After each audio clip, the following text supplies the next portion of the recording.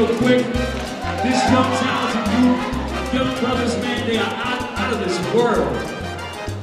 When we talk about diversity in this program, we're the only diverse program in the country.